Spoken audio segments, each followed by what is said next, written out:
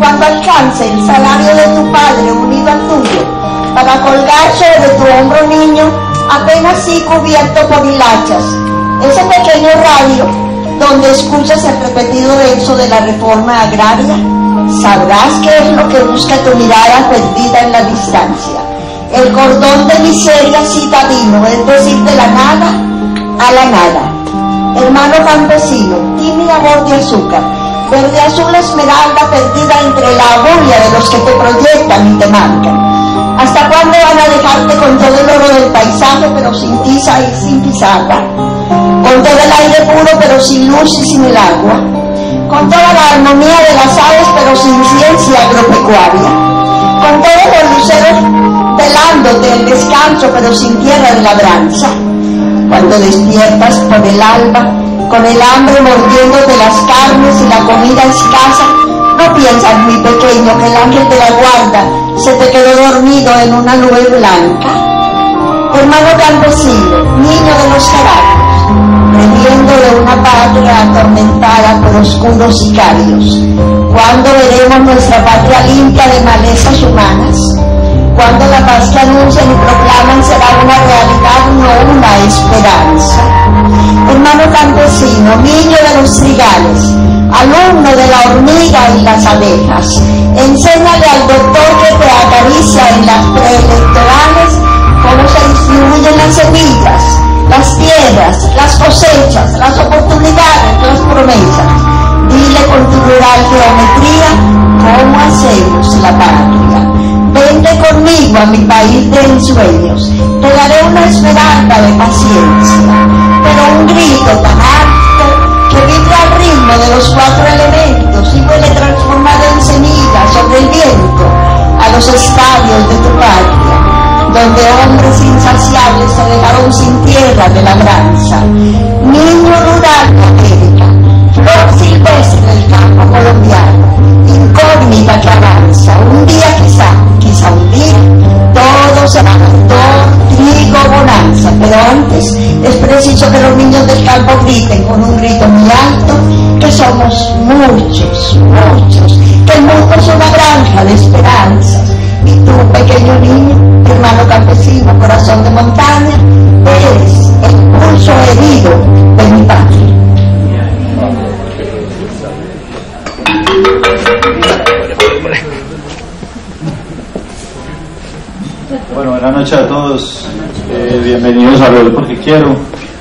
siempre, antes de dejarlos con, antes de dejarlos con Daniel, eh, invitarlos a lo que es la próxima semana, que arranca el mes de mayo. Pues obviamente el primero de mayo no trabajamos, entonces el martes no hay charla.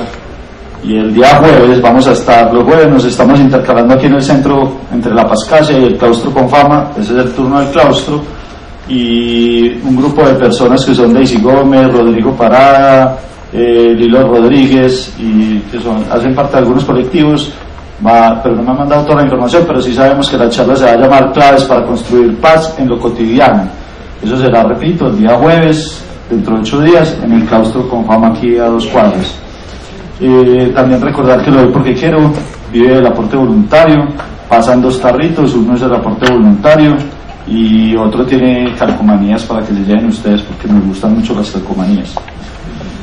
Y bueno, sin más aquí un gran amigo de Lodoy, ya ha estado varias veces, Daniel Tobón, escritor y filólogo, con esta vez con las escritoras de Antioquia. Muchas gracias hombre y un aplauso para vos.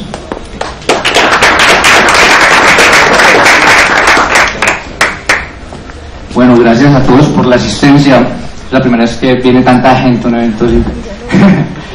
bueno, ya, pues uno después de ver el video de Mar, uno queda conmovido, eh, esa declamación de memoria, porque se sabe todos sus poemas de memoria, una mujer que tiene ochenta y pico de años, eh, y bueno, yo creo que estamos, pues el motivo de esta charla es como, como esa deuda que tenemos, que tenemos con nuestros escritores, eh, y especialmente con nuestras escritoras, ¿cierto? Pues en la actualidad, en la actualidad hay muchas autoras ya y ya están empezando a coger fuerza, a coger, a coger impulso, a coger reconocimiento.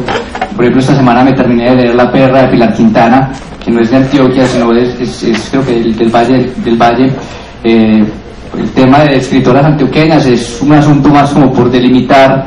A mí siempre en la universidad me enseñaron que hay que delimitar, ¿cierto? Yo, y a mí me gusta hablar de todo, entonces seguramente les hablaré de escritoras colombianas también. También les podría hablar de escritoras universales como Mary Shelley o Margarita Ursenar, que son dos grandísimas escritoras geniales.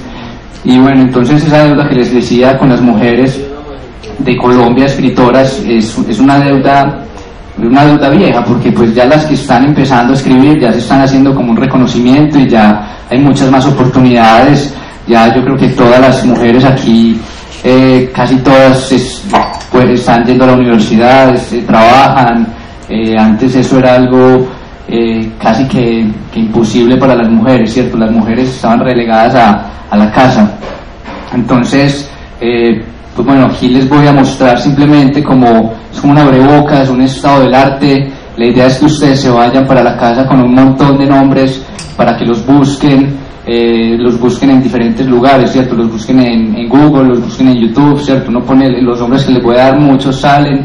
Hay otros, un par de nombres que, que es imposible encontrarlos, eso muestra como, como esa invisibilidad. Por ejemplo, una escritora que, que es de Jardín, no hay, ninguna foto en internet y uno va a Jardín, que es su municipio natal, y en la Casa de la Cultura de allá nos muestran una foto de ella, pues como un grupo de gente, y donde sale ella está partida a la mitad, entonces no sabemos quién es. Eh, después les diré quién es, pues cuál es, cuál es, cuál es ella. Entonces, bueno, eh, el título de la, pues, de la presentación, Sueños de Libertad y Paz, es, es una recurrente que yo he encontrado en, al leer a muchas de estas escritoras, siempre está presente como ese anhelo de libertad y igualmente en la vida que han tenido, en las formas para publicar, la dificultad que se les ha presentado para publicar y, esa paz que, que, hemos anhelado todos en Colombia desde, desde que nos llamamos Colombia y desde antes de eso, ¿cierto? Eh, entonces, bueno, eh, vamos a empezar entonces como a mostrarles unos nombrecitos desde la primera escritora antioqueña que es ella. Eh, ya la están arreglando. Bueno, igual, usted ya, ¿alguien sabe quién es? la casualidad. Se llama Ana María Martínez de Nícer y fue la primera escritora antioqueña y me atrevería a decir que entre hombres y mujeres fue la primera mujer escritora, la primera persona que escribió en Antioquia.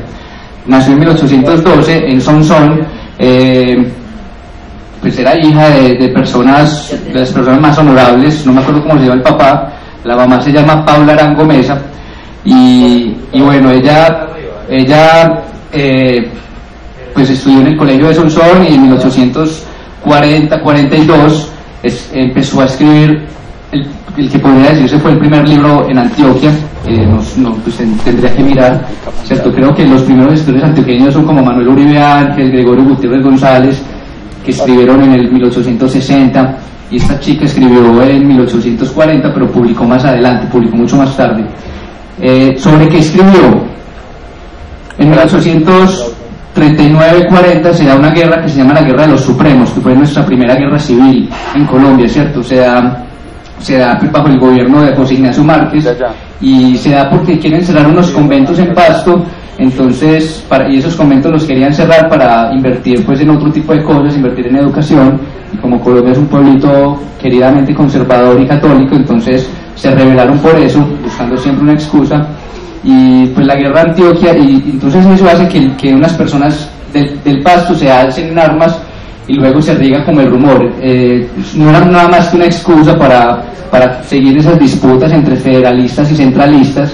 Entonces el Supremo antioqueño se llamaba Salvador Córdoba, que fue el que se, alzó en armas acá, y María Martínez de Nícer, Ana María Martínez de Nícer, o Marucha como le llamaban, estaba en su casa muy tranquila, viendo como todas las noticias, entonces su diario comienza con, esa guerra, ella hace casi que un ejercicio periodístico, empezar a, escribir sobre esa guerra, eh, como lo que está pasando, las noticias, entonces también es muy interesante ver sus criterios políticos.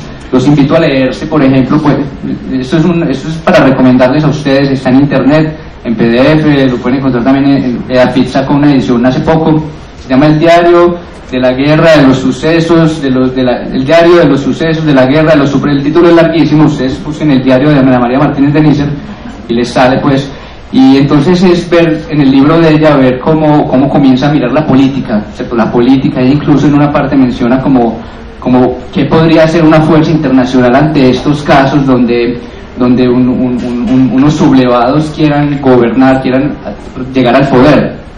Entonces es muy interesante porque empieza a dar vestigios de lo que más muchos años adelante se va a llamar el derecho internacional. Y entonces es muy interesante ver eso. Yo estuve, por ejemplo, en Sonsón dando una ponencia sobre ella y, bueno, lo que se conoce la gente normalmente es que ella tenía un esposo que se llamaba Pedro, Pedro Nícer y a él lo capturaron en Río Negro por estar entre las fuerzas legítimas y entonces ella muy triste desde su casa se va, se corta el cabello, se pone un traje militar y se va a la guerra. Entonces la gente la reconoce a ella más por haber ido a la guerra, pero en la guerra en ese tiempo las mujeres cumplían un papel secundario que era coser botones, darles ánimo a los hombres, satisfacerlos sexualmente, ese tipo de cosas. Ella les dio, fue a darles ánimo y por eso la condecoraron, porque fue una mujer muy valiente. Entonces los sonsoneños, muchos se sienten muy tristes porque, porque ella no disparó nunca un fusil, porque no mató a nadie y porque no fue un- un- una, una militar. Yo les dije, hombre, pues el- es más valioso haber escrito el primer libro en Antioquia, la forma como ella empezó a ver todo eso que estaba pasando. En los, el- obviamente lo que nos gusta a nosotros es ver, verlo lo, más fuerte y bueno, eso lo pueden encontrar al final de ese libro, está ya cuando ella se va a la guerra y decide cortarse el pelo y, luchar, pues acompañar mejor dicho. Y, hay unos pasajes muy bonitos de la guerra, ¿cierto? Como los lamentos, la guerra, todo eso. Es una, es una, son partes muy bonitos de, de- de ese escrito que ella hizo. Y bueno, entonces ese es el reconocimiento pues como, como que le quiero hacer a Ana María, que es la primera escritora, puesto que muchos no la conocían. Y mi- el tatarabuelo de mi mamá era tío de ella. Me di cuenta después por una casualidad del destino. Bueno, sigamos con estas mujeres. Isabel Carrasquilla y Magda Moreno. Miren la fecha de Isabel Carrasquilla, 1865, hermana de Tomás Carrasquilla, ¿cierto? Nadie sabía que, mucha, muy pocos sabían que Tomás Carrasquilla tuvo una hermana.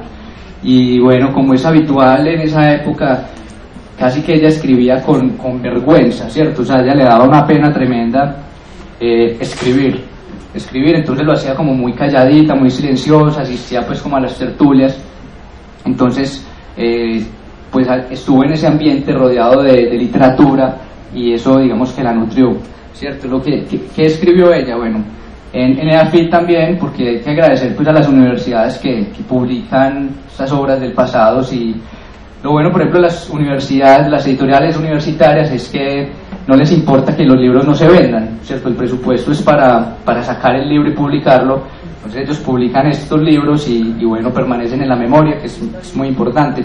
Igual que Magda, que Magda también es como un poquito cercana a la época, ya creo que nació en, en 1900, ah, bueno, ahí no, ahí no está la fecha cambiada, eh, nació en 1900 y creo que murió en mil- 1964. Entonces tuvo también sus años para escribir y ella escribió principalmente de sus ma- maestros, de sus mentores, a quienes veía como Tomás Carrasquilla y como, como Francisco de Paula Rendón, ¿cierto?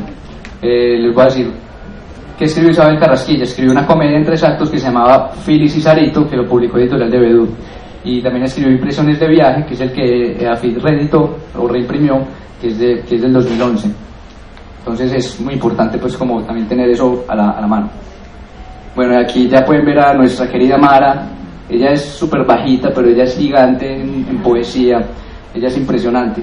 Y María Cano, que muchos la conocen por haber sido una líder política en Colombia, fundadora del Partido Socialista, eh, haber trabajado por la clase obrera, por la clase trabajadora, y, y pocos conocen su faceta de escritora.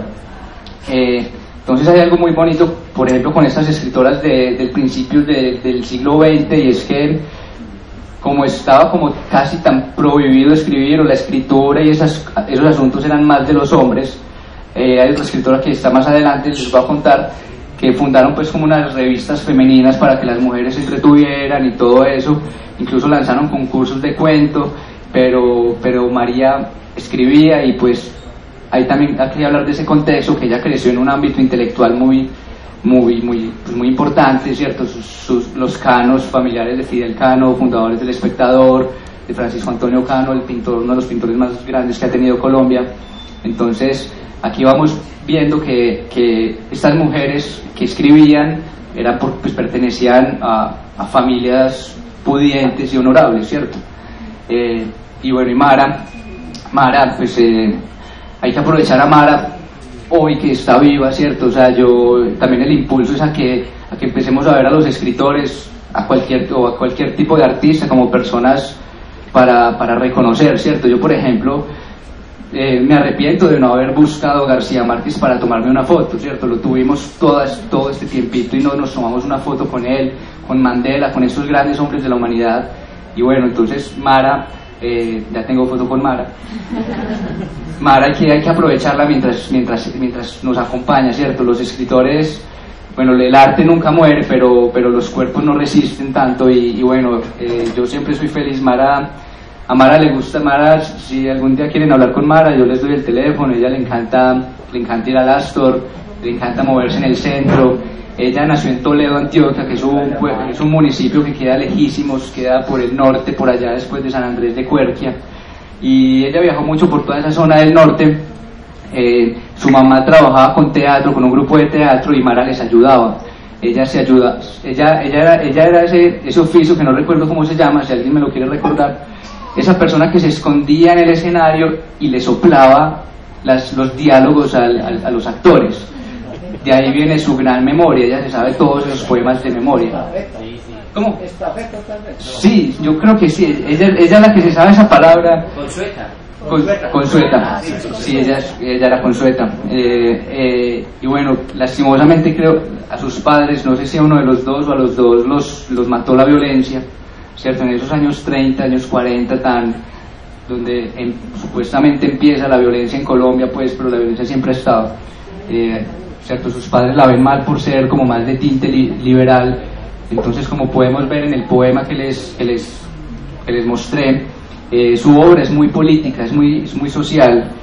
Y es tan social que ella siempre, siempre se ha sentido como, como marginada, como que, como que el sistema no ha querido publicarla, incluso en una paranoia muy, muy, muy simpática, pues que ella me dice, ya se ha sentido que, la, que el Estado la ha querido asesinar, pero bueno, ella ha tenido una vida muy interesante, pues ella se casó, se casó, tuvo hijos, y, y- y su primer libro lo escribe en 1967. Y fue una ruptura porque fue cuando se divorció. Imagínense uno divorciarse en 1967 en Colombia, país ultraconservador, cuando las misas creo que casi que todavía eran en latín, y ella decide divorciarse y comienza a escribir. Entonces su primer libro tiene un título hermoso, se llama Tropel de Quejas. Imagínense cómo será esa belleza. Bueno, y ella cuenta que para publicar siempre ha sacado de- del mercadito, ¿cierto? Ella ha sido la administradora de la casa, entonces ella guardaba, sacaba para el mercado, separaba un poquito, casi que le reducía como, como venga, compremos menos arroz, compremos menos carne, compremos menos esto, para poder sacar mis libritos así de forma independiente y, y bueno, y, y poder, y después pagaba cuoticas, ¿cierto? Y ella en un video menciona pues el, eh, cua- cuánto le valía publicar un libro, como 3 mil pesos pues valía en esa época. Y bueno, tiene más de 16 libros. Uno de los que más me gusta a mí, se los voy a mostrar, se llama Sobre la piel de América. Y esta es una, una reimpresión que le sacó la Secretaría de la Cultura de Medellín, eh, que es como que ya cuando por fin ya, bueno, ya al menos ella no pagó por una publicación, eso es algo muy importante. Entonces sobre la piel de América es donde tiene ese poema de- del campesino y tiene otros también muy profundos, muy políticos, muy sociales. Bueno, aquí están las sin cara. Posible encontrarle cara a estas mujeres. No sé si alguien sabe quién es Josefina Henao, más conocida como Lucía Javier, sonsoneña también, y, y- y bueno, pues tiene varios títulos como este que es el ánfora sedienta, y, y era más poeta que cualquier otra cosa, y tiene en este momento en Sonsón una novela inédita que, que la, es- está en máquina de escribir. Si van a la Casa de la Cultura de Sonsón y se hacen amigos de las personas de allá, les muestran esa, ese manuscrito que, que- que si alguien quiere publicarle por ahí, bien pueda. ¿Cierto? Y Carmen Rosa Herrera de Bar eh, es la mujer que les digo de jardín, que la cara está mochada, no hay como vestillos de, pues, no, no- no sé cómo es. Y bueno, es- está este libro que está en la Universidad de Antioquia, Invernadero Poemas, eh, y bueno, pues es, es una lástima no poder como tener el rostro de las escritoras, pero bueno, ella ella participó de los talleres literarios de la piloto cuando, cuando los daba Manuel Mejía Vallejo. Entonces hay que, ¿cierto? Entonces ahí también es mostrarles como de quién estaban rodeadas estas mujeres en sus círculos, sus círculos poéticos, sus círculos de, de escritura. Bueno, eh, voy a mirar porque yo traje unas cositas para que alguien lea más tarde y e irles mostrando pues como, como la idea es que, que se vayan con muchos nombres y busquen, busquen por cuenta de ustedes luego y, y las lean a todas o a las que puedan. Bueno, está Sofía Ospina de Navarro, Oliva Sosa de Jaramillo y Rocío Vélez de Piedraeta. Eh, ¿Alguien conoce alguna? ¿Alguien quisiera, si alguien sabe, si alguien quisiera hablar, aportarte alguna, bien pueda, o sea, es, porque lo que les digo, o sea, es- esto es como producto de una investigación, un estado del arte de escritoras que yo me he encontrado en el camino y no, no las he leído a todas, por supuesto, pero pero sé que sé que estas autoras son las que como merecen estar en ese canon. Por ejemplo, no les voy a hablar de, de si eran buenos, si escribían bien o mal, cierto, esos juicios, no soy yo el encargado, eh, pero sí al menos contarles un poquito de qué escribían y, esos contextos en los que escribieron. Entonces, Sofía Ospina de Navarro, por ejemplo, ese Ospina, ese Ospina, ¿a qué les, a qué les huele? A, presi- a presidente, ¿cierto? Entonces, Ospina huele a presidente, ya era hermana de, eh, hermana de un, de, un, de un expresidente, nieta de expresidente, que por ejemplo los que han ido al poblado, la quebrada la presidenta, se llama la presidenta porque arribita vivían los Ospina, entonces la gente era feliz bañándose en esa quebrada porque se bañaban en mierda de presidente. Bueno, y Sofía Ospina de Navarro, eh, pues cuando uno podía meterse a un charco en el poblado, ya solo hay edificios. Sofía Ospina de Navarro escribía muy costumbrista, muy realista, y ella fue la que fundó la revista Letras sin Cajes y promovió el primer concurso de literatura de, de cuentos para, para, para señoritas, ¿cierto? Que eran señoritas muy, tenían que ser muy, muy bien. Y pasó, por ejemplo, algo con ese concurso, que, la ganadora de uno de, esos concursos que hicieron no se presentó. Entonces corría el rumor de que quien, quien había escrito el- ese cuento ganador había sido un hombre. Ahí como para burlarse, porque eso generó un revuelo, imagínense, esas mujeres que van a estar escribiendo cuentos. Y Olivas, bueno, Olivas Sosa Jaramillo eh, es de Jericó, es de Jericó y ha escrito eh, Tierra Quemada, es uno de sus libros, de sus, de sus libros importantes. Y bueno, eh, creo que ya sale en ese documental hermoso que sacaron de Jericó hace poquito, el, el increíble vuelo de algo así. Eh, entonces también una invitación a que la, la busquen. Y Rocío Vélez de Piedraíta ha escrito una infinidad de libros. Eh, donde yo sé todavía está viva, entonces todavía podemos buscarla. Oli- Oliva también. Tiene, entonces tiene unos títulos que les voy a leer. eh, Entre nos, El Pacto de las Rosas, La Tercera Generación, Episodios de la Vida de una Mujer sin Vida. También para que miremos esos títulos. Terrateniente, Antioquia Literaria Desconocida, Por los Caminos del Sur, El Diálogo y la Paz, Guía de Literatura Infantil, Muellemente Tendida en la Llanura, El Hombre, la Mujer y la Vaca, un cuento desagradable. Cuatro relatos, pues está publicado en Palabras Rodantes del Metro, para los que cogen esos libritos y nunca los devuelven. Eh, cuentos de Navidad, El Siete Cueros del Día.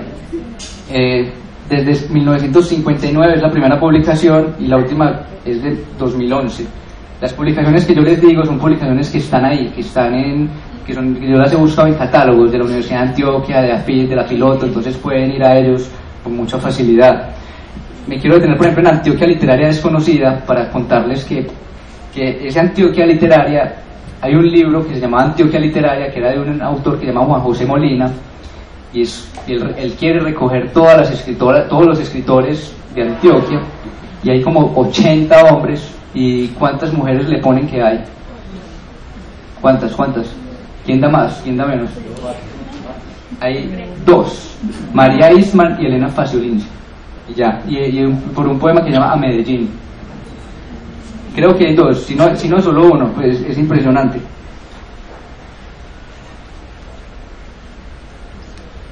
Bueno, aquí Dolly Mejía y Olga Chavarría. Entonces aquí ya les ya vengo con una super joven, con una un poquito más atrás. Eh, ¿Por qué las puse juntas? Se. Bueno, ¿por qué las puse juntas? Porque Olga tiene este libro que se llama Aún llueve en Torcoloma, que es una novela histórica basada en la, en la vida de Dolly Mejía, que es una poeta escribió mu- mucho sobre erotismo, eh, tuvo también como un, problema, no sé si fueron como unos abortos que tuvo, tuvo algo muy, muy, muy, un encuentro, algo muy íntimo con la maternidad. Eh, si alguna, si alguna mujer quiere eh, leer un poema que les tengo aquí, ¿alguna quiere? Por ahí. ¿Alguna, alguna? Bueno, si no lo leo yo. Se llama Orgía en mi alma, de Dolly Mejía. Alzó su copa mi alma y comenzó la orgía, a reír, a cantar, hay que vencer la vida. Mi corazón beodo en su jaula revuelta, a reír, a cantar, llegó la primavera. Muerte, boca, los frutos que sazón a ti llegan, exprímeles la sangre, aunque tus labios quieran. Mis ojos se han abierto como azules banderas, al triunfo de mi sangre sobre la vida entera. Mis cabellos relucen desbocados al viento, a reír, a cantar, es mío el firmamento. Y se agitan mis manos igual que mariposas, y borran las espinas al arrancar las rosas. Hay orgía en mi alma y viste luz mi cuerpo, a reír, a cantar, el dolor está muerto. A reír, a cantar, mi alma está de fiesta, y vibro toda entera al ritmo de mi orquesta. Un poema de Dolly Mejía. Y bueno, y Olga, eh, Olga también tiene una, Dolly es de Jericó también y Olga tiene una relación de Jericó, ella nació en Medellín, pero toda su familia es de Jericó, ella estudió mi carrera, ella fue compañera mía, estudió filología hispánica y también tiene otro libro que yo recomiendo, que es un libro de cuentos que se llama Dejen la aldea a la luna, este lo publicó, este de Héctor Coroma lo publicó Hilo de Plata, con Hilo de Plata, después de haberse ganado el estímulo al talento creativo en 2016 y aún, y aún yo Héctor Coroma lo publicó con la Universidad de Antioquia. Estaba, en la feria del libro ahora en Bogotá. Ahorita está en la to- sí, tomando fotos con todas las escritoras de allá. Eh, sí, Olga es muy buena escritora, ella ha escrito, ella ha estado tiempos con el taller también de la piloto, el reciente. Eh, entonces, pues ahora ya vemos que, por ejemplo, muchos, muchos escritores, escritoras pueden estudiar carreras como filología, como estudios literarios, que antes pues lo intercalaban con otras cosas, ¿cierto? Entonces, bueno, es, es como algo muy, muy bueno saberlo. Bueno, aquí les tengo tres narradoras, cronistas, eh, algunas periodistas, Patricia Nieto, Carla Giraldo Duque y Gisela Arte Ortúa. Eh, bueno, Patricia Nieto es profesora de la Universidad de Antioquia de, de periodismo y tiene unos libros increíbles de, sobre el conflicto armado. Eh, les voy a decir los títulos para que la busquen, que es lo que les decía, de esos aromas de libertad y paz. Eh, pues la paz empieza por empieza con estas obras del conflicto. La literatura en Colombia empieza con un diario sobre una guerra de los supremos y pues en la actualidad Patricia Nieto, por ejemplo, escribe sobre este conflicto armado que hemos vivido en Colombia, ¿cierto? Los, los desplazamientos y un montón de cosas que, que, que todos conocemos. Bueno, les voy a decir los títulos si encuentro esto por acá.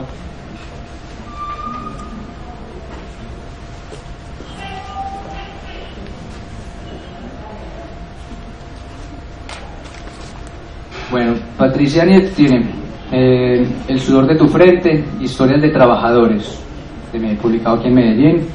Eh, fue compiladora de varios libros, Jamás olvidaré tu nombre, El cielo no me abandona, Llanto en el paraíso, Crónicas de la guerra en Colombia, eh, Donde pise aún crece la hierba, compiladora y editora.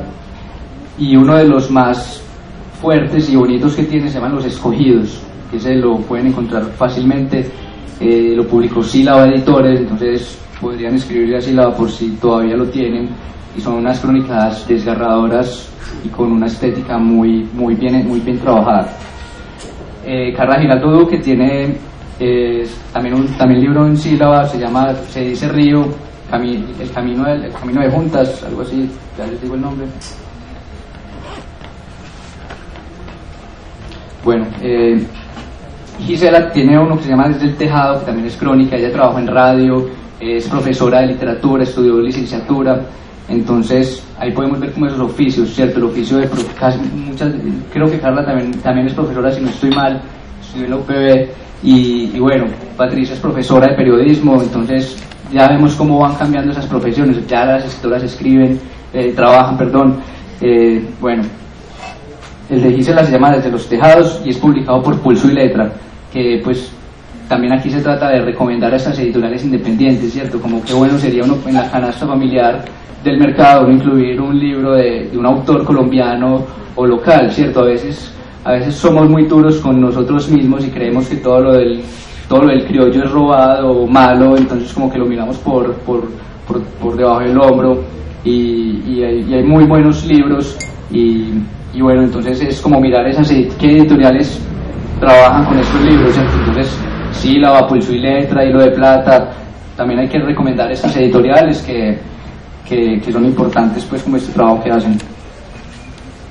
Bueno, María Elmirda Chavarría y Marga López. María Elmirda, María Hermilda es de San Andrés de Cuerquia y ella trabaja con el Centro Literario de Antioquia. Es una mujer que, que, que trabaja muy en pro de la cultura, promoviendo también poetas y todo ese tipo de, de manifestaciones artísticas y, y es, y es una muy buena declamadora, igual, igual que Marga. Marga es de La Ceja.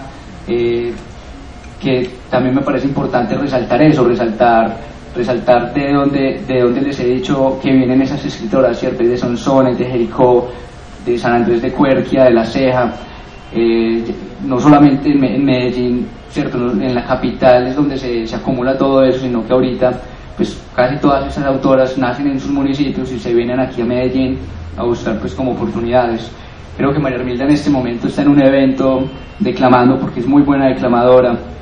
Eh, les voy a leer un poema de ella que se llama ¿Qué esperas? Mientras huye la paz, muere la tierra, contaminan los mares y el plantío, se debate la vida en loco hastío, y el malvado tan solo sueña en guerra. El avaro que guarda no se aterra, del que muere sin pan o por el frío. Solo importa su afán de poderío, y la puerta al hermano siempre cierra. Se deshielan los polos, qué tormento. La hecatombe muy pronto llegará, y el planeta profiere su lamento. Despertemos, pues todo acabará, en tus manos se encuentra el linimento que del mundo los odios sanará. Obviamente ella lo declama muchísimo mejor que yo, pero es para que conozcamos a estas autoras. Bueno, y Marga, el estilo de Marga es un estilo así como, como ven la, la ropita que tiene puesta, ella es súper esotérica, es como cósmica, tiene un libro que se llama Morada de Síbilas, eh, Murum Sam, son unas cosas rarísimas, pero escribe muy bien eh, y es pues ya, ya se da el lujito de, de ser jurado de, de- de concursos y bueno, los invito a que ellas están vivas, entonces compren un libro, pídanles un autógrafo y tomen una foto con ellas. Bueno, estas tres mujeres eh, son narradoras.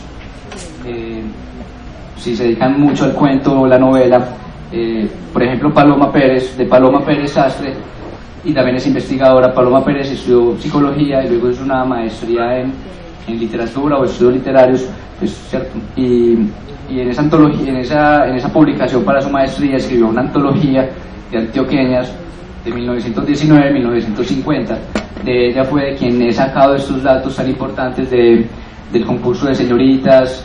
Eh, en, el- en este libro de ella que, que está en las universidades, ya pues ella agotó tirajes porque es un libro muy importante de consulta para los que quieran conocer un poco de esos contextos del siglo XX, de, de esos años que ella menciona, cómo eran las cosas, cómo funcionaban, y leer esos cuentos que participaron en esos concursos. Ella los recopila aquí en este libro, y, y bueno, ella también tiene, tiene sus, sus, sus libros de cuentos. Eh, bueno, Ana María, Ana María tiene este, todos estos libros que les traigo están firmados, obviamente. Arma de casa, Ana María Cadavid. Ella es arquitecta. Ella es arquitecta, ella es de Envigado. Y Arma de casa son unos cuentos geniales de como esas situaciones que pasan, ¿cierto? Que una mujer ama de casa podría como soñarse o pensarse. Entonces hay una en la que los para como un policía y ella seduce al policía y el esposo se enoja. Obviamente toda la literatura es ficción, ¿cierto? Nada de esto aquí le pasó a ella, es mentira. Pero, pero bueno, y, y bueno, también hay que resaltar como, como cómo escribe, ¿cierto? Ella, por ejemplo, desde, desde la timidez, ella dice, yo no soy escritora, yo no soy escritora, yo, yo entonces, y yo, no, pero como así, pues ya ha quedado finalista del premio de la cueva, publicado. eh, y bueno, es, es muy buena escritora y, y- y- y si ella se lo creyera más, sacaría unos libros geniales. Y bueno, pues lastimosamente también es lo que falta de apoyo y muchas de estas escritoras, estos libros que les he mostrado, eh, han salido del propio bolsillo, ¿cierto? Incluso con, con las editoriales independientes toca poner del bolsillo porque es muy difícil como publicar, ¿cierto? Las formas de publicar es ganarse un premio de la alcaldía, eh, ¿cierto? Es como, eso es como, como algo, algo lo que deberíamos trabajar pues como, como ciudad, ver, ver que los escritores no se autopubliquen, pues es, es, es porque toca, ¿cierto? Bueno, y Claudia Acevedo es de Santa Rosa, de, ella- ese es su seudónimo, Coleya Bungar, ella es de Santa Rosa de Osos, y, y bueno, es un poco más joven y tiene unos, tiene un, les voy a leer un fragmento de un cuento para que vean ese estilo ya, esa diferencia de estilos, porque por ejemplo cuando uno lee las poetas de- del siglo XX, de esos años como después de los de, de 1920, 30, 40, son cuentos todavía muy costumbristas, muy algunos pues, o poemas, y Coleya Bungar, pues, ya, ya lo van a ver. El cuento se llama Fornicarás. Les voy a leer solo un fragmento. Si por mamá fuera, se lo habrían ocultado toda la vida. Nadie le explicaría nunca la diferencia genital entre niños y niñas. La meterían en un convento incluso antes de darse cuenta de que la vagina sirve para algo distinto a orinar o a despachar una taza de sangre una vez al mes. Vagina, dije vagina, perdón, perdón. Entiendo que hay palabras que por respeto al prójimo es mejor no pronunciar. En cuanto a papá, parecía darle lo mismo. Que sus cuatro hijos eligieran un hogar o un monasterio lo tenía sin cuidado, con tal de que fueran fieles a su devoción y a la moral aprendida en el seno de una familia ejemplar. Dije seno, perdón, perdón, no es que quisiera decir teta ni mucho menos. Sus hermanos, el orgullo de toda madre, las dos hermanas mayores terminaron el bachillerato y se enrolaron en, en el magisterio. Consiguieron puestos decentes en escuelas rurales. Ninguna tenía novio, o por lo menos eso creía la madre. Cuánta dicha. A los 13 años matricularon al único hijo varón en el seminario, un sacerdote en la familia. Habráse visto felicidad más grande. Lástima que la vida no pueda ser un dulce de brevas. Oh no, solo Dios sabe por qué la cuarta niña tuvo que nacer para mandar al diablo a la familia perfecta. Ahí se los dejo. Pueden buscarlo en internet, lo publicó Universo Centro y está publicado en su en, en el libro pues de ella. Que busquen los nombres en, en- en los catálogos. Un asuntico. Eh, Claudia es Claudia Arroyave Villa, no Claudia Acevedo. Ah, bueno, listo. Cuenta. De una. Gracias, gracias. Listo, sí. Si Acevedo es otra que tiene otro nombre. Bueno, aquí les voy a mostrar a la gran Elsie Ríos, Buitrago y Aura Echeverry. Eh, ¿Ese no es? ¿Ese no es? No, es que está mal acá. ¿Qué qué? Eh, En la lista, eso ahí. Creo que es el, el- el- el último que bajamos. ese. Tienes que ponerle. Dale pausa. Campesino, Dale pausa. ama tu campo, no busques las ciudades. No quieras limitar tu cielo azul. Ama tu terruño y la fuente que le cruza. No dejes que se muera tu Espérate plantío un de segundo. soledad.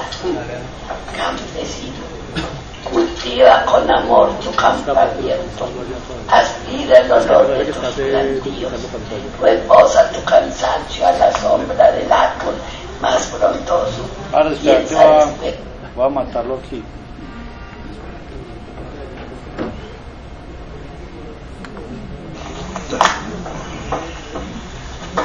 Campesino, ama tu campo, no busques las ciudades. No quieras limitar tu cielo azul. Ama tu terruño y la fuente que le cruza. No dejes que se muera tu plantío de soledad. Campesino, cultiva con amor tu campo abierto. Aspira el olor de tus plantíos. Reposa tu cansancio a la sombra del árbol más frondoso. Piensa después cuán tibio es el viento que te canta. No dejes tu parcela abandonada. Se volverá reseca igual que tus anhelos.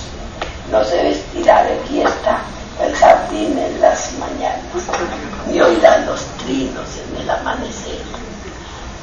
Ama tu campo y la paz que le circunda, el silencio de las tardes y el rumor de las quebradas. Ama las noches de luna en los maizales. Abre las tocar ventanas al futuro. Mira tu labor. Mira tu labor. Hombre. Bueno, déjalo ahí que ya se le olvidó. Bueno, él sí, es una belleza.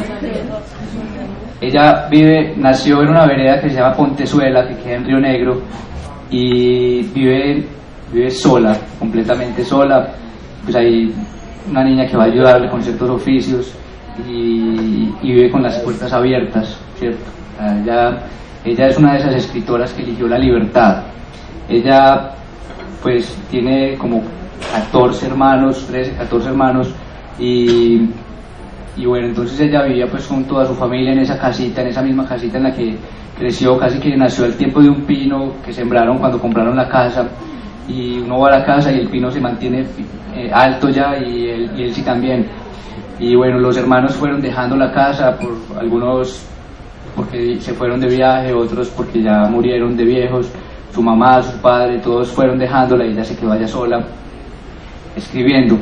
Ella hizo hasta segundo de primaria, eh, hizo hasta segundo de primaria, ya tiene 81 años, entonces imagínense la época, hizo hasta segundo de primaria y, y empezó a escribir porque una, una chica le llegó con un poema y se lo mostró y él sí lo leyó y le pareció tan lindo que se lo robó.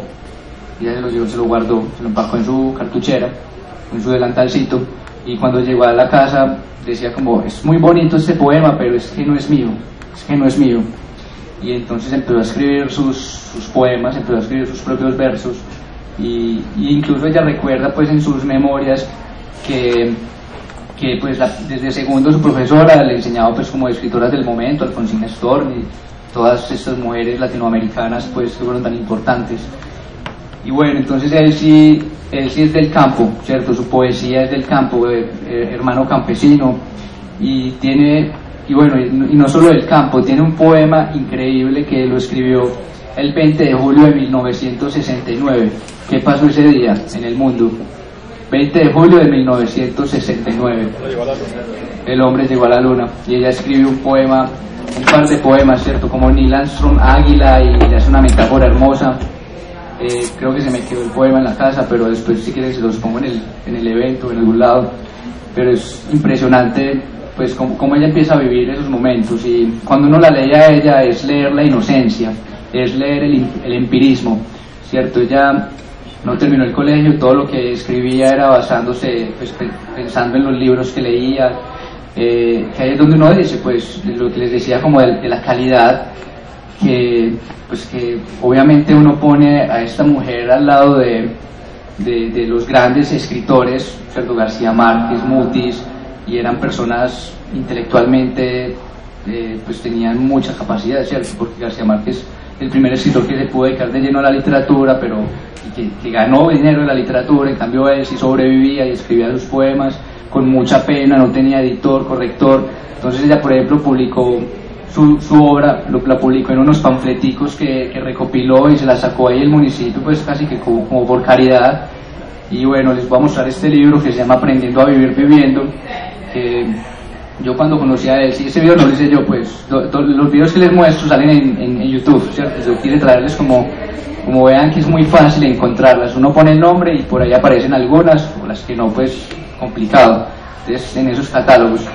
Entonces yo conocí a sí por razones de la vida y ella, ese video es muy, muy, muy lo que es ella, ella lo recibe a uno con las puertas abiertas por allá pues en, en, un- en su biblioteca escribiendo eh, y, y- te invita pues a tomar café, chocolate, algo y, y se pone súper feliz y es declamante de- en cualquier momento empieza a recitar un poema de memoria también y uno se queda como uy callémonos y escuchémosla tiene poema a porque tiene la puerta abierta, tiene poema a la paz, eh, y los, los que les decía, entonces ella ha sido muy, empírica, muy empírica como con su, con su obra, y, y muchas de estas escritoras han sido muy tímidas, ¿cierto? Como tímidas a mostrar, como a creer que lo de ellas no es suficiente, entonces como que casi todo lo que ella ha conseguido ha sido porque, porque la gente la ha impulsado, la, la ha motivado como a seguir, ella se ganó el premio Ca- CAFAM, pues como, como a principios de, este siglo, Eh, y bueno, es- este, este libro que publicamos, eh, yo, le, yo le ayudé a publicarlo, se llama Aprendiendo a Vivir Viviendo y bueno, en la primera parte cuenta como su, su, su vida, es como una autobiografía donde ella cuenta todas, todas esas anécdotas pues con sus hermanos, eh, corría descalza, tuvo problemas pues como con los pies toda su vida. eh, Ahí ella tiene una, ella camina bien, pero pues camina derecha, pero cuando ya se cansa tiene una de esas moticos súper bacanas y, y- y es ahí súper feliz en esa motico. Eh, Entonces en la primera parte cuenta pues como todo eso, sus amores, porque es súper súper enamoradiza, eh, le encanta, le encantan los hombres, todos los hombres, pero no, no, no se quiso casar porque ella dijo como casarse es perder mi libertad. Entonces ella tomó esa decisión de no casarse ni tener hijos. Eh, entonces esa libertad pues digamos que se vio anclada la, la poesía, ¿cierto? Como su, eh, esa fue. Entonces, eh, la, otra, la segunda parte de este libro son unas cartas de amor, una cosa muy, muy hermosa, que es, las escribe en, en las, las, ella las fecha y, uno cree que es verdad, incluso ella estaba como, como no, pero decime si, si, si se sacó el libro, es que vergüenza yo sacar todas esas intimidades ahí. Entonces ella le da, le da como mucha pena y yo, sáquelas, sáquelas. Entonces, eh, esas cartas son de, de un, de un hombre, de un novio como que ella tuvo en, en los 70 y que se fue y vuelve 20 años después, en 1992, 93, 94, que fechan las cartas y tienen como su, su historia de amor ya después, ya viejitos. Es casi que como, como uno ver el amor en los tiempos del cólera, ¿cierto? Que, pues si no se lo han leído, no, no les digo. Pero es ya ese amor de viejitos, que es muy bonito. Entonces, entonces ahorita yo, pues yo, yo le quise sacar esto porque era como cumplirle, cum- ayudarle a sacar, porque era cum- cumplirle el sueño de, de ella imprimir, un- hacer un libro con un proceso litográfico real, pues de que pasara por un corrector textual, de que pasara por una imprenta, de que una artista genial hiciera el diseño y cosas así. Y ella estaba súper feliz y, y ya, entonces ya, ya me dijo como ya usted me tiene que aguantar toda la vida porque usted me, me dijo a mí que ya yo le tengo que ayudar a sacar todos los libros. Y estamos en este momento recopilando la, la obra completa de ella que se, va- se llama Un canto a la vida y al amor, es como lo que ella, lo que ella es, ¿cierto? Ella le canta mucho al amor, le canta mucho a la, a, a la paz, eh, también es, obviamente es como una de nuestras abuelitas, entonces se escribe también con camándola en mano, entonces tiene sus plegarias, pues es, es una cosa muy, muy linda, que, que es donde yo digo que, que lastimosamente, y esa deuda que tenemos con nuestras escritoras es que, es que ya estamos, como el mundo va tan rápido, ya, ya esto hoy en día no, no, no funciona, no vale, no sirve, ¿cierto? Ya tenemos que sacar es otro tipo de literatura, entonces esto pues ya, ya, ya se perdió, ¿cierto? Ya fue de su época, entonces pues también es como, como, como, como resistir, ¿cierto? Es una resistencia a, a sacar, a sacar este libro de Elsie, donde ya en esas cartas, por ejemplo, ella no las pone en orden, sino que ella intenta jugar como con, con el tiempo de la narración. Y ella me decía, ¿te diste cuenta de eso? ¿Te diste cuenta de eso? Yo, yo sí, yo me di cuenta. Entonces es como, es muy bonito conocerla, ¿cierto? Es, es muy, es, es una inocencia y es como, bueno, es como leer, leer una de nuestras abuelitas y lo que sentía. Y en su obra también, pues es una ri- riqueza documental porque es, leer, es ver en su obra como su tiempo. Entonces ver como la difusión del radio, ver cuando empieza a llegar el, tele, el, el- el cuando empiezan a pasar los aviones, que ellos pensaban que eran brujas volando por el cielo. O sea, unas cosas muy, muy, muy interesantes también de conocer como documentos históricos. Entonces, bueno, las invito a conocer a Elsie. Y bueno, ahorita Echeverry Uribe, ella, eh, ella también ella empezó a escribir tarde, empezó a escribir pues desde muy chiquita, ella cuenta que escribía, que le escribía las cartas a los novios, eh, pues, ya cuando uno habla con ella es como que bueno, ojalá, ojalá los, los novios de mis amigas no lean mis libros porque se dan cuenta de que yo les escribía las cartas. Y, y bueno, es una cuenta, entonces ella pues también muy tímida, también por la supervivencia, empezó pues a trabajar, eh, estudió pues estudió su, su carrera en el CESDE, creo que en didácticas, ella también ha sido como profesora. Y cuando se jubiló fue cuando empezó a escribir. Y ella asistía a talleres de escritura con Mario Escobar Velázquez, eh, ahorita pues ya con, con Luis Fernando Macías, con Janet Posada, ya está, está muy en esos círculos como ahí escribiendo y publicando también como de su bolsillo con, con Hilo de Plata, eh, Al paso del tiempo es uno de sus libros de cuentos. eh, y también son unos cuentos, pues hay unos cuentos que son muy bonitos, pero sus novelas son, son muy buenas porque son novelas de la violencia, de la violencia bipartidista. Entonces, es- también es como, lo que les decía, que nos hemos perdido de, ¿cierto? Como que aquí nos, nos toca empezar a desatrasarnos históricamente con estas grandes escritoras, de todo lo que tenían guardado ya están como, ya lo pueden sacar.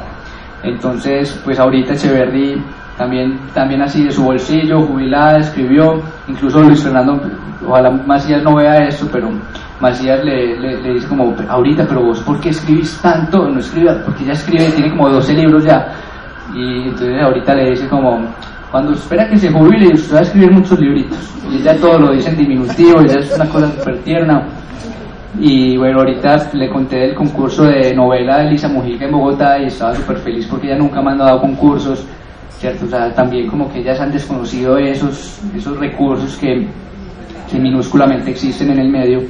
Y bueno, entonces tiene una novela que, que mandó, que la mandó con un nombre, pero yo le dije que si le ponía el otro yo ayudaba a que se lo publicara, no les puedo decir el título, pero pero bueno, cuando, cuando lo, sa- lo sa- si se lo gana, lo saca ella, si no lo gana, yo voy a tratar de ayudarle porque es una novela muy buena eh, sobre la venganza, pues los temas y también es histórica y como el campesino.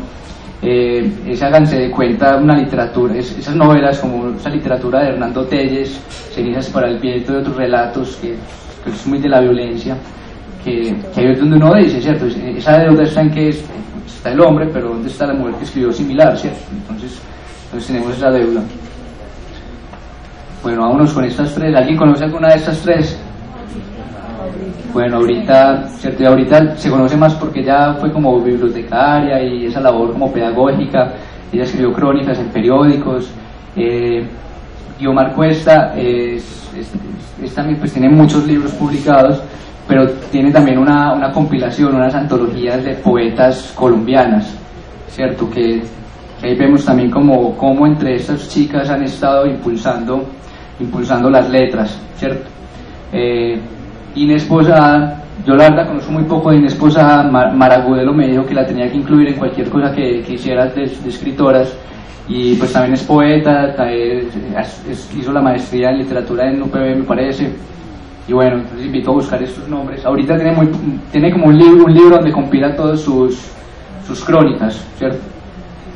Que lastimosamente se murió hace poquito en un, en un asilo.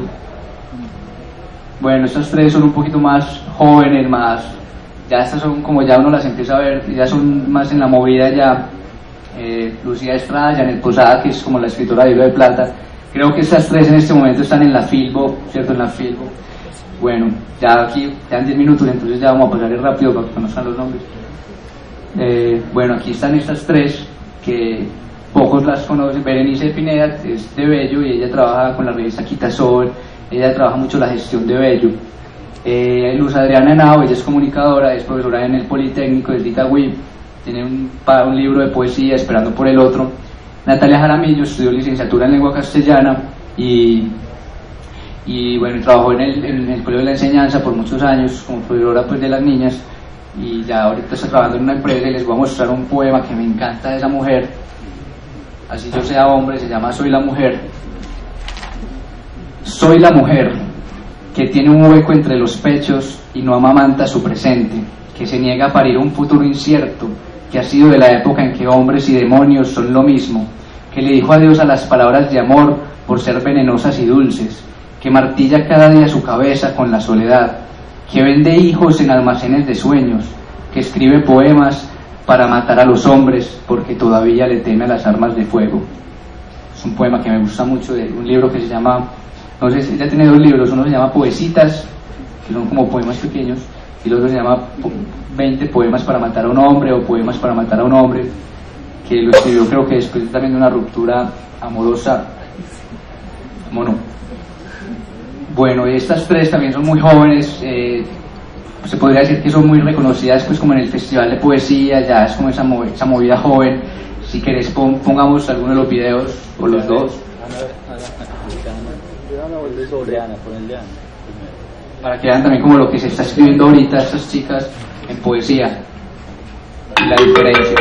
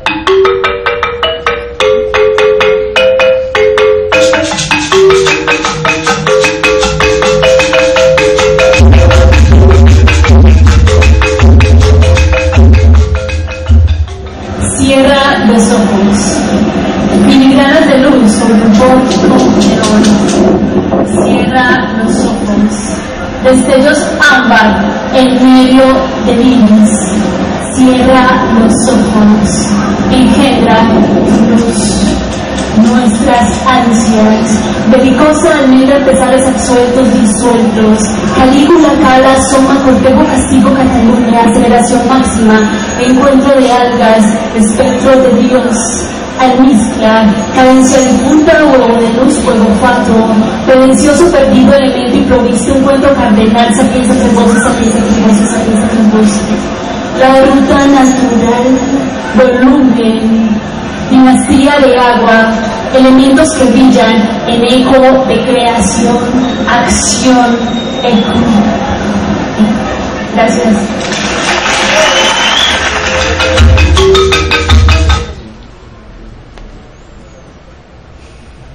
Bueno, ahí vemos esas dos y pues Jenny León ha ganado premios de la alcaldía, también estudió filología hispánica y, y bueno, también en, el- en el- la página del Festival de Poesía ustedes pueden ver como la lista de escritores colombianos, ahí pueden ver una lista enorme de muchos autores de acá para que los, los ahí también hay hasta un, escritor indígena muy bueno que se llama Vico Pushana, que yo lo recomiendo, escribe poesía Wayú, Wayú sí. Bueno, eh, bueno, estas tres mujeres, ¿alguien reconoce a Cristina?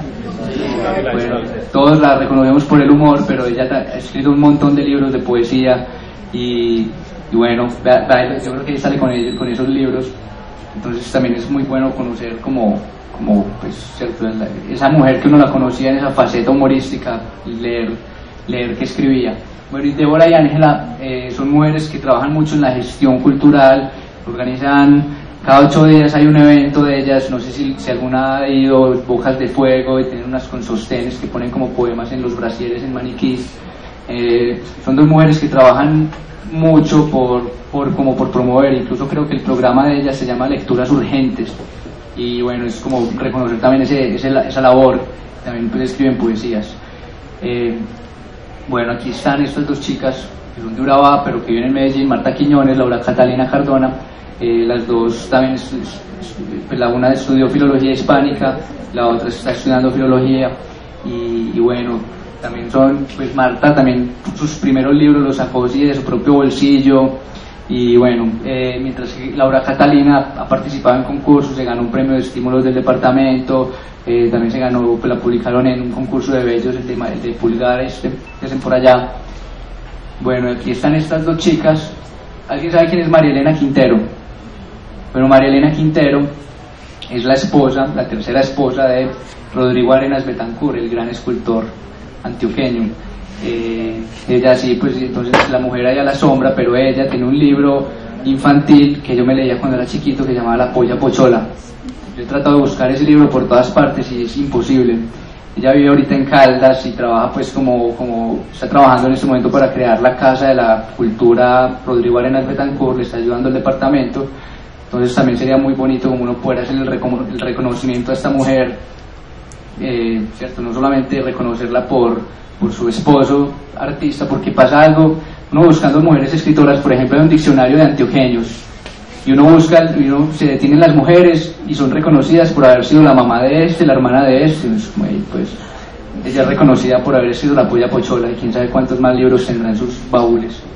Y Marcela Velázquez eh, tiene dos libros que le conozco, eh, Mira lo que trajo el mar, que es un libro, pues ella escribe, estas dos escriben literatura infantil, por eso las puse juntas, y la otra se llama Se respiraron los sapos, que es una novela también como juvenil infantil, aunque con tintes muy profundos sobre la minería.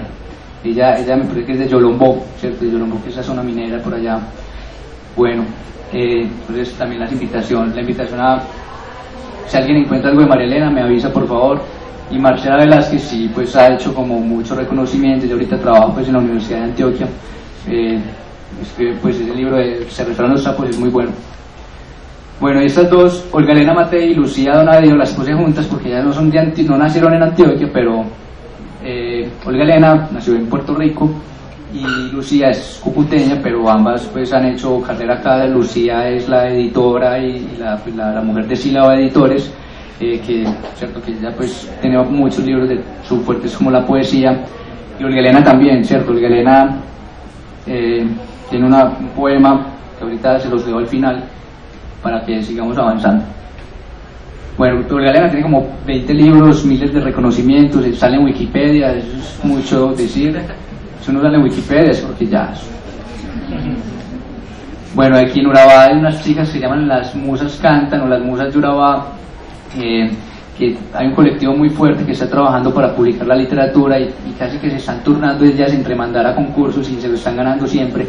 Entonces primero publicaron una antología como de todas y, la idea es como empezar que ellas vayan subiendo cada una, son como 12 o más y, hay jóvenes desde, pues chicas desde 17 hasta mujeres un poquito más grandes y se reúnen, conversan de literatura, porque eso es, lo más nutritivo, ¿cierto? conversarse y estar como en el medio y pensar en la literatura, que lastimosamente pues, a los escritores les toca como tener otros trabajos, trabajar ocho horas diarias y después llegar a la casa a escribir cansado, entonces estamos escribiendo una literatura cansada. Qué bueno sería que el escritor pudiera escribir y ya, que el pintor pudiera pintar y ya, que el escultor pudiera y así. Entonces, bueno, estas chicas están trabajando mucho en ese colectivo de Urabá.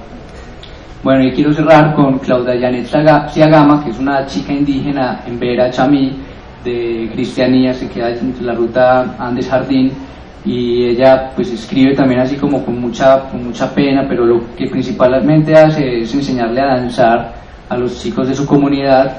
Ella ahorita está aquí en el, en el Metropolitano que la nominaron al premio de la Antioqueña de Oro, es un premio que, que está, inventó la gobernación. Y bueno, entonces, eh, esta sí no está publicada. Pues yo, yo, por ejemplo, quiero, quiero en este momento comenzar a trabajar en, en una antología de de poesía de mujeres o de cuentos, en varias, para sacar una coleccioncita, que esperemos que la podamos ver muy pronto. Y tiene unos poemas de la mujer donde ella cuenta, habla de ese machismo que hay en sus comunidades indígenas. Ella una vez, yo la tengo en Facebook y yo hablo con ella a veces, me contó cualquier cosa normal que iba a hacer, que no quería, pues como no quería tener un novio, cuadrarse con un tipo, y como que si se negaba la metían al cepo. Pucha, estamos en el siglo XXI y todavía meten a las mujeres en el cepo yo le hice un chiste y se enojó, pues, pero, pero es un asunto súper delicado y, bueno, esta mujer escribe, escribe muy bien y es donde uno dice como, y, escribe en vera y en español, ¿cierto? Entonces es una, una mujer muy interesante que si van a Cristianías la pueden buscar. Y bueno, la invitación es a que las leamos y bueno, les voy a leer el poema de Olga Elena que es muy bueno. Ese es como el más famoso de ella, se llama Señora Burguesa. Yo soy una señora burguesa, con la barriga inflada y escribo poesías con dolor de garganta. He sido niña prodigio, muchachita insoportable, mala estudiante, reina de belleza, modelo de esas que anuncian sopas o telas o artículos diversos.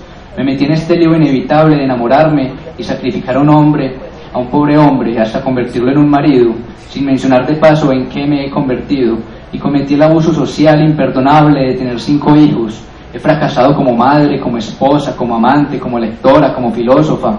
Lo único que puedo hacer mediocremente bien es ser señora burguesa y despreciable, imperdonablemente inútil. Y eso es precisamente lo que me infla la barriga y me hace escribir poesías con el dolor de garganta que me saca la rabia, porque todos los días me acuerdo de la guerra y el hambre, que son tan reales como las señoras a la misma hora en que estoy aquí sentada como una pendeja. Bueno, es un poema de nuestra querida Olga Elena. Gracias por asistir. Espero que, que tengan un- una buena lectura de muchas de ellas. ¿Alguna pregunta? ¿Algún aporte? Aporte, comentario. Sin palabras. Está bien.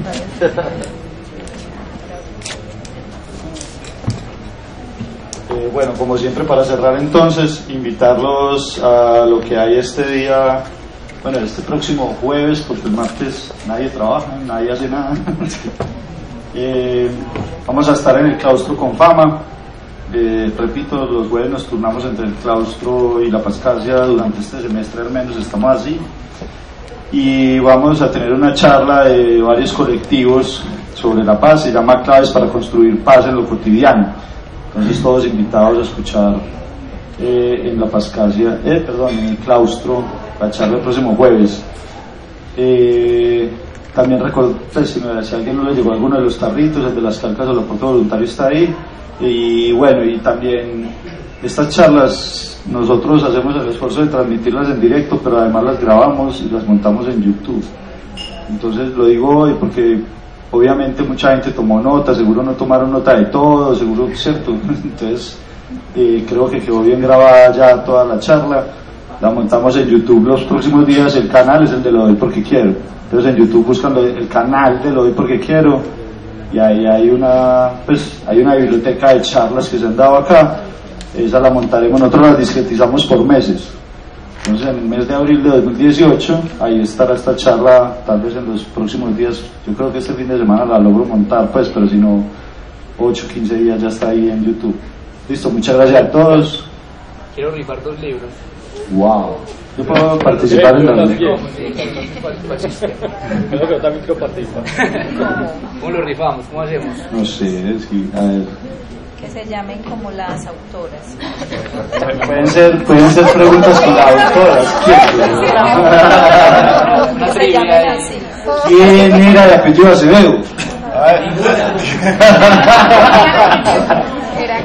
Hay, hay, hay personas que no son de Colombia, es más difícil. Entonces algo más fácil, no, digamos que Arranque con un Tradicional número. el número Bajo de la página, la página, métanle en una página que lo dice. ¿Y dónde están los números? O Hay la asistencia. o asistir. De la página. Ah, no dan Digo cualquiera. Separo cualquiera.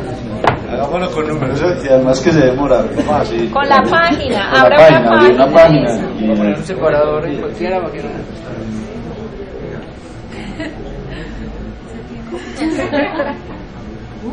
Listo. ¿Del 1 al cuánto? Mira, Daniel. De acá lo. Yo ven, vení, vení para este lado de acá. De acá trae una página que era números aleatorios. Entonces decía entre 4 y 4. No, pero ya la página. Número de personas que hay, pues, Ah, bueno, 40. pero, pero entonces vos quieres participar. Pues, no, dale. Bueno, dale. ¿Cuántos hay acá? No, yo, puse, yo puse 40, pero más o menos. Ese es el número que De sale. una, hágale. Entonces, el primero, el primero empieza por acá, el segundo empieza por allá. De- ¿Del 1 al qué? Del 1 al 40. Del 1 al 40. Sí, más o menos el número de gente. Pues, un poquito 23. No, 22. no. 28. 30. Eh, 27. no. 24. 13. 33. 17. Sí. Se vendió uno. Muchas gracias. Listo. Rifate el segundo traigo el otro ahí.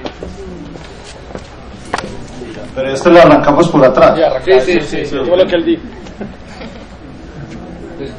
Igual, del 1 al 40. Del 1 al 40 igual. sí. 40.